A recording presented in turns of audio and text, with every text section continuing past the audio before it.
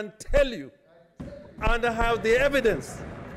The people who are looking for Waiguru's head is not the Point of order. Mr. Speaker. Point of order, Mr. Speaker. And Mr. Speaker, Point of order, Mr. I Speaker. want- Order. Point of order, Mr. Speaker. head- I- Point of order, Mr. Speaker.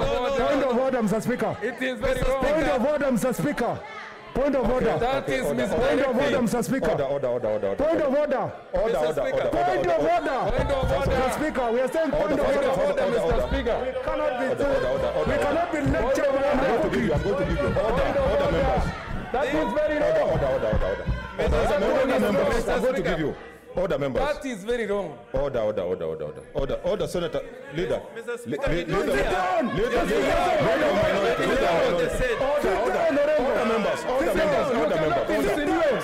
order. Order, order, members. For the head of Order, governor. Senator, order, order, order. That's very wrong. Order, order, order, order, order.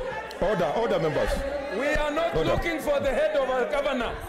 for the leader of minority, Senator Orengo, to impute improper motive in this house when we know very clearly that the impeachment motion has been brought by the County Assembly of Kirinyaga. So for him to continue lecturing here on, on nonsense, basically, it is inappropriate. Order, order, order, order. Point of order, Speaker. Order, order, just a minute. I vote no to the Capitol Hill Sanitization Committee.